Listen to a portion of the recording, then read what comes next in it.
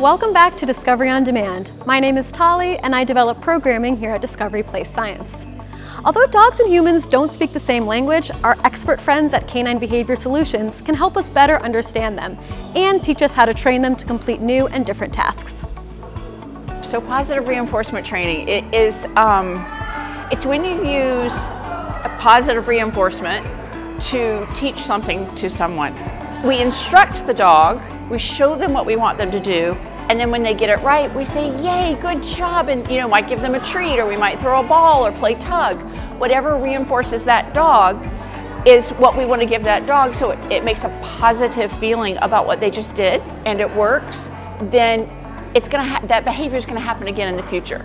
So classical conditioning, think about um, association. That's all classical conditioning is. It's, it, for example, if you pick up your leash and your dog starts wagging their tail and getting excited because you're going for a walk, you've classically conditioned that leash.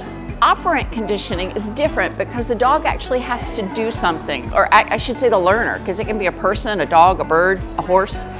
The learner has to actually do something. We call it, it has to operate on its environment. So one really important thing to know is that is body language is a dog's language. They're talking to us all the time. We just don't realize it.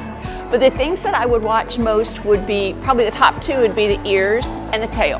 The ears can be kind of soft and easy and, and you know, just kind of loose, meaning a happy, relaxed dog. Or they can be straight up and alert. They can be pinned back to their head, which is really, they're really, really fearful. One myth about the tail is that a wagging tail always means a happy dog.